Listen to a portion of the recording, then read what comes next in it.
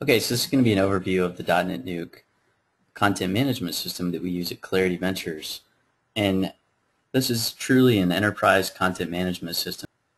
DotNetNuke stands as one of the most prominent content management systems that's available today for uh, for open source content management systems. So it's it's got six million plus downloads. It's very easy to use. It's proven. It's been around for almost eight years now there are a lot of SEO friendly um, adjustments that were made to the CMS system and this is truly a content management system. So this is not a blogging engine that was used a lot and turned into a content management system. It was intended and built around being a content management system.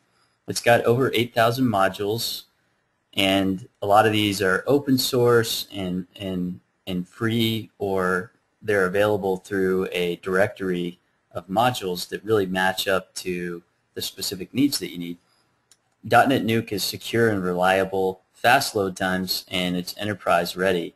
And from Fortune 500s like Disney and Microsoft to you know the U.S. Army, Navy, and groups, organizations like NASA, a lot of different groups use DotNetNuke. So what are we going to cover today? We're going to take a look at how you can quickly log in create pages and content on the pages, images, links, PDFs, video, and written training documentation that we provide. We'll briefly cover the SEO-friendly aspects of the system because it's pretty easy to cover that uh, briefly. We'll also take a look at the e-commerce functionality and we'll briefly cover that as well. And then again, just to highlight that this is an enterprise-ready system. And this is really built on the ASP.NET platform and it's compatible with the latest versions of .NET. So whether it's ASP.NET 2.0, 3.5, or 4.0, DotNetNuke is ready to sit on your Microsoft stack or we're ready to provide hosting on a .NET stack that, that can integrate with your systems that you already have in place. That makes it really easy to, you know, to use as a turnkey system. So I'm going to keep this slide up and we'll go ahead and get started with the demo here. So I'm just going to go to my demo site. And this is how you would load up your content management system and make changes. So you would just go to your site and typically we provide a login link. If you want for security, we can provide just the link and you can directly go there without having the link listed on your site. I'm going to put in my username and password. And now we're going to see a different view of the content management system once we're logged in. So you can see I've I've got a few extra buttons on the page so I can edit content, I can change the settings, I can add or remove panels up here in this rotator and you can see it automatically rotates. I can go to my admin or host menu items and you can see I also have a top control panel that comes out. And this gives me access to different functionality that, frankly, we won't have time to cover today. You can read more about this, though, by going to dotnetnuke.com or by checking out some of the other resources we have available at clarity-ventures.com. Okay, so with that said, what we're going to cover today is, you know, how do you add pages and content? Just keeping it really simple. How do you add images, links, PDFs, etc and how do you modify and manage content on your site.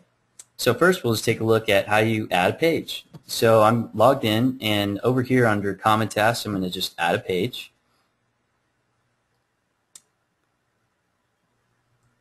And you can see whenever I do that I get a page settings area. The page name is what shows up in the menu. So that's going to show up here whenever you roll over these menu items. That's what actually shows up in the menu itself. So we're going to do a test page. And then the page title is for SEO purposes. So this is your meta tag for the title of the page. So this is so this is a sample page title Clarity Ventures. Okay, so that's that. You can also put a meta description or keywords. And you can also tag this. I won't go into a lot of detail on all of this because you can see there's a lot that I can I could show potentially. Just to keep it simple, you can specify a parent page. So any page within your site hierarchy you can directly specify as the parent page. In this case, we're just going to specify this as a resources page. So this page is going to go under resources.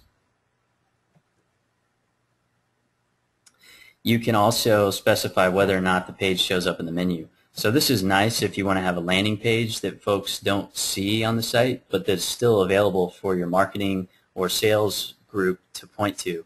It also might be nice to have as a quick links for your internal team to have access to. So you can include or disclude. And then out of the box, this is an enterprise ready system. And the reason I say that is because it has role-based security that allows you to give or limit access to each page on your site and each module within a page on your site.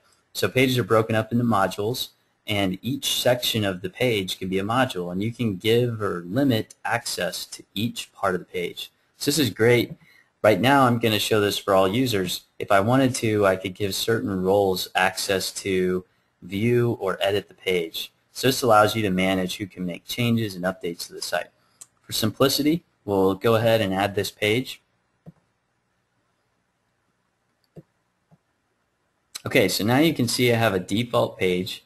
It gives me a standard template, so I don't have to worry about learning any technical background to add and, and manage pages on my site. So here's my test page that I just added. Now I can go in and click on edit content on my content area and start adding new content.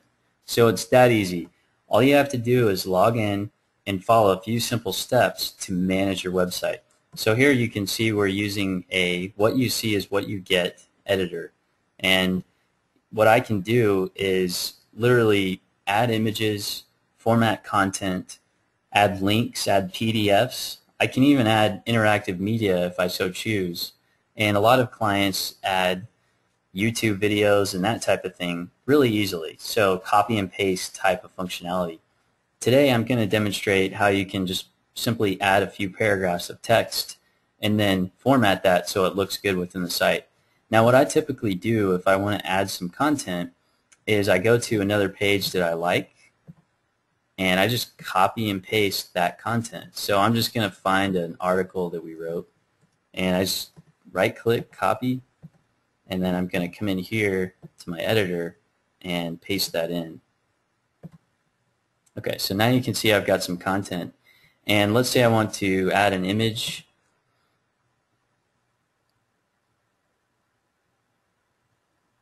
So what this is doing is it's looking at the server and it's finding all the images that are available for me to use. I don't have to worry about finding the actual path to these images or you know learning anything technical about that. All I have to do is select the image that I want to use. And in this case let's let's use this dynamics image. And then I can change the properties so if I want I can align this to the left and maybe give this a margin. So maybe on the right side we want to do a 10 pixel margin and on the left side a 10 pixel margin. Okay so we're going to insert that. And now you can see all my text wraps around that uh, that image. You can also add links pretty easily. So we'll just have, have a link to Clarity and I can click on this link icon to add a link. We can link to a page on the site or we can link to another website or a file. So this is how you can link to a PowerPoint presentation, a PDF, or a Word doc, or etc any files that you have on the site you can link to. You can also send those links to a new window if you so choose, and you can also put email addresses in here. This is great because you can add a subject line so you can identify what page someone came from or what it is that they're asking from you um, within the actual email that they send you. So with that said, we'll just add a quick link to the home page for simplicity again and we'll set that to open into a new window and I'll say okay so now you can see that turned into a link uh, for home okay so let's say I wanted to modify that I can just right click go to properties and it did say Clarity before, so I'm going to change it back to that. There we go. At, at Clarity, we provide a complete walkthrough of your system with a written documentation and video documentation before we take your site live. You can refer to this documentation over and over again, and it's interactive and easy to use.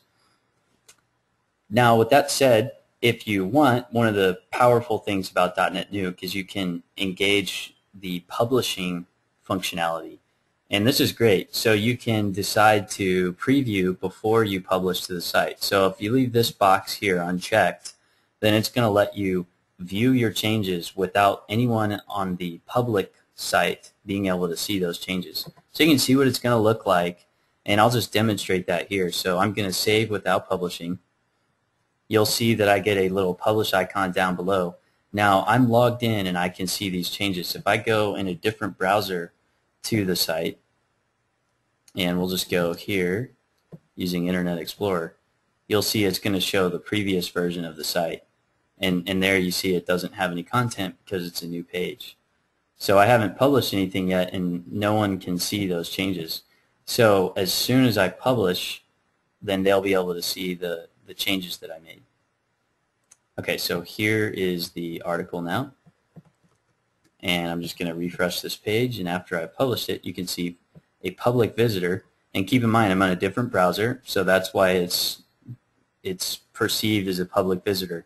I'm in Internet Explorer, and in Internet Explorer I'm not logged in. So you can see that it's allowing me to uh, view this content that was published. Okay, great. So that's a really powerful functionality about this content management system. Okay, so thanks for watching the first half of the video demo overview.